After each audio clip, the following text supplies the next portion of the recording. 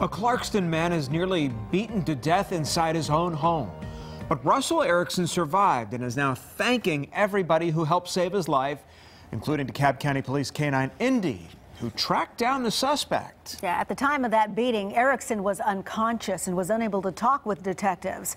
But today, Christy Hutchings with News Radio 1067 was there as Russell met the K-9 and his handler for the first time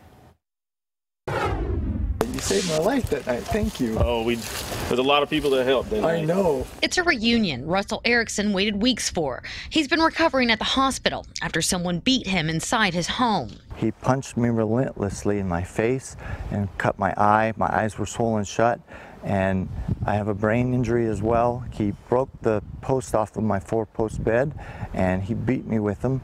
And then when I got outside, he continued to beat me. A neighbor heard Russell's cries and called police. Thank God the lady across the street, after a while, she opened the window because she had hot flashes. And that's the best thing in the world. Ladies have hot flashes is wonderful because she opened that window and I uh, heard me yelling. Paramedics rushed Russell to the hospital while police were left to try to figure out who did this. With Russell unconscious, they didn't have much information. That's when they called in to DeKalb County police officer Norman Larsen and his canine Indi.